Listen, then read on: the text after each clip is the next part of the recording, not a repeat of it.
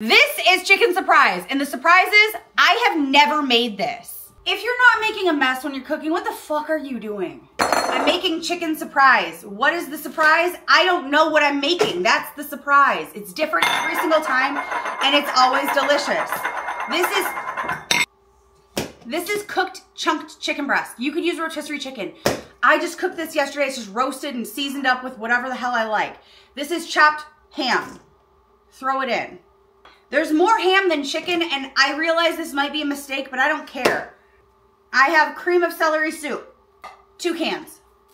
Hopefully that's not too much. I have a bag of broccoli that I have microwaved. Throw that in. We're going for like a cheesy chicken cordon bleu with broccoli situation, vibe, whatever, I don't know. Breakfast blend, which is just Swiss and sharp white cheddar. A whole bag. Wasn't part of the plan, but it is now. Some French onion seasoning. You can use whatever kind of seasoning you see fit in this. I just feel like this is the right call here. Maybe use Gruyere cheese and give it a French onion vibe as well.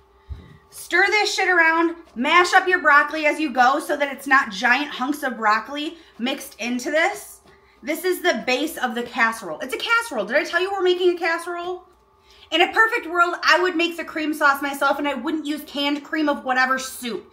You can do that. It's literally just flour, butter, milk, and cheese. Stir it around. I could have done that. I didn't.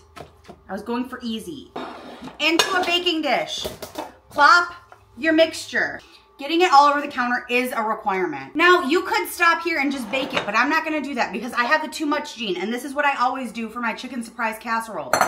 You fill the bottom of the baking dish with something with chicken, and the surprise is stuffing on top. There's shit all over the floor.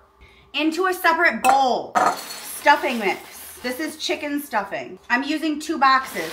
That might be too much, but if it is, it's fine. And the only other thing you're going to add is sour cream, a hefty amount.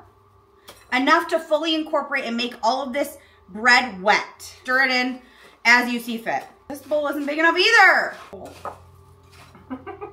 I'm struggling. oh my God. I'm using my hands. I don't care at this point. This is horrible. It's mixed. Now wash your fucking hands. Your hands should be washed before this. But before you do that, pick all of the excess off of the counter. If you're not crunching pieces of stuffing under your feet at this point, you didn't do it right. To the top of our chicken surprise, we're going to pour our stuffing mixture. Top your casserole with more cheese. And why, you might be asking? Because it's a casserole made in the Midwest. What do you expect from me? Apparently, two whole bags of cheese are needed for this recipe. This is gonna feed your family for multiple days. This is not a one and done meal. This is, no one's consuming this all in one go. Pop it in the oven until it looks done. And there you have it, chicken surprise. Let's give this a taste because I know what you're thinking. Is it even good? And I have Emily here to taste it with me because I made this ahead of time because I have things to do. Blow on it.